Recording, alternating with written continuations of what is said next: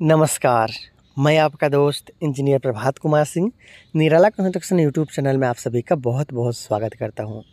दोस्तों, डेली की भांति आज एक और वीडियो लेकर मैं आप लोग के लिए हाजिर हो गया हूँ और आज की इस वीडियो में मैं आपको डायरेक्ट साइट से दिखाने वाला हूँ कि कैसे आजकल लोग ब्रिक वर्क के द्वारा ही कॉलम का शटरिंग बनाते हैं और इसका क्या फ़ायदा और क्या नुकसान होता है उसके बारे में आपको पूरा जानकारी देना चाहता हूँ।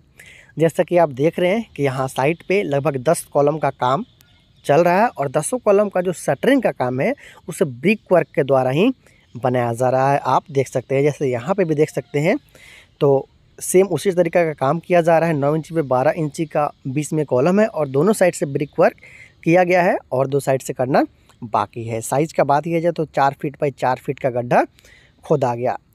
तो आप देखिए, दोनों तरफ़ का तरीका से इस टाइप का ब्रिक वर्क है, वो किया जाता है। आप देख सकते हैं। स्पेसिंग का भी खैर यहाँ पे गलती होते रहता है, क्योंकि इधर वाला जो ब्रिक वर्क किया गया है, वो कॉलम से लगभग तीन फीट दूर में किया गया है, आप देख सकते हैं।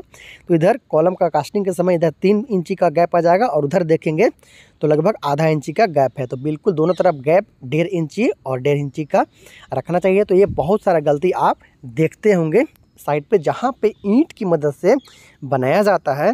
शटरिंग वहाँ पे होता है। जैसे यहाँ पे देखेंगे तो चारों तरफ़ से ब्रिक वर्क किया गया और बीच में हमारा कॉलम है, वहाँ पे कास्टिंग किया जाएगा। देखिए कैसे महँगा पड़ता है आपको इसके बारे में थोड़ा आप देख लीजिए। देखिए चारों तरफ़ से यहाँ पे ब्रिक वर्क किया गया है। देखिए उधर से भी किया गया है, इधर से भी किया गया है, चारों तरफ़ से। तो इसमें कितना टोटल ईंट लग रहा है और उसका कितना रुपये आपका खर्चा हो रहा है एक कॉलम का शटरिंग में? तो देखिए, एक तरफ़ से देखेंगे तो लगभग पाँच ईंट आपको लग रहा है एक रादा में और ऐसा गिनेंगे तो आपको दस रादा यहाँ पे देखने को मिलेगा। मतलब एक तरफ़ का जो वाल है, उसे करने में आपको पचास ईंट के लगभग खपत हो रही है और चारों तरफ़ से किया गया मतलब आपको दो सौ ईंट सिर्फ़ एक कॉलम का शटरिंग में ही लग गया। ईंट का कीमत की बात किया जाए तो सात रुपये प्रति पीस के हिसाब से बिक रहा है। मतलब आपको दो सौ ईंट का हो गया चौदह सौ रुपये। मतलब एक कॉलम का शटरिंग सिर्फ़ तीन फीट का शटरिंग में आपको चौदह सौ रुपया लग जा रहा था इस तरीका से मान लीजिए आपको छोटा भी घर बनाते हैं तो दस कॉलम बनाते हैं। दस कॉलम बनाने में आपका टोटल चौदह हज़ार रुपया सिर्फ़ ईंट में चला गया।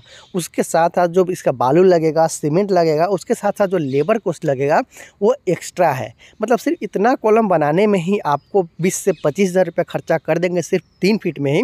तो ये तो समझदारी नहीं है। इससे कम पैसा में आप चाहें तो लकड़ी या फिर प्लाईवुड का जो शटरिंग होता है, उसे बना सकते हैं। और जो मजबूती आपको प्लाईवुड या फिर लकड़ी के शटरिंग में बनाया गया कॉलम में मिलेगा, वो आपको मजबूती यहाँ पे नहीं मिल पाएगा।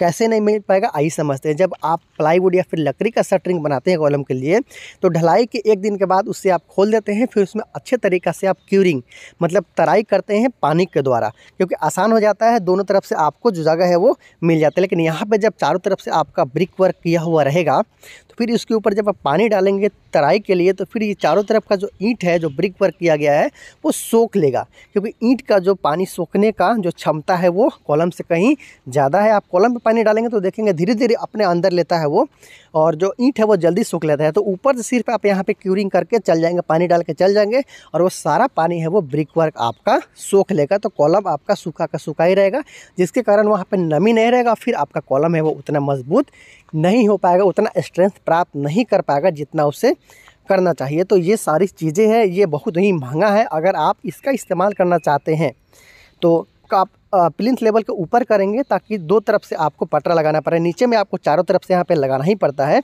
तो इससे आपको बचना चाहिए। मैं यही बोलूँगा कि सारा चीज़ देखते हुए अपने काम को बनाए, अपने घर को मज़बूत बनाए।